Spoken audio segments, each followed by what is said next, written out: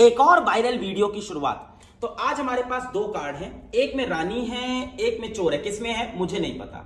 मेरे हाथ में ये एरो है ये मेरे दोस्त हैं आदित्य। ये इन दोनों में से किसी एक को चुन लेंगे या तो रानी या चोर को। जिसको ये चुन लेंगे वो इनका और जो बचा वो मैं एक्सेप्ट कर लूँगा। लो आदित्य भाई जो चुनना हो उसकी तरफ़ एरो कर दो। हम देखेंगे। देख लो देख लो। हाँ हमने चुन ली। तो तुमने चोर चुन लिया। नहीं हमने रानी चुनी है। रानी तो सिर्फ़ मेरी है भाई। रानी हमने देख के चुनी है। एक सेकेंड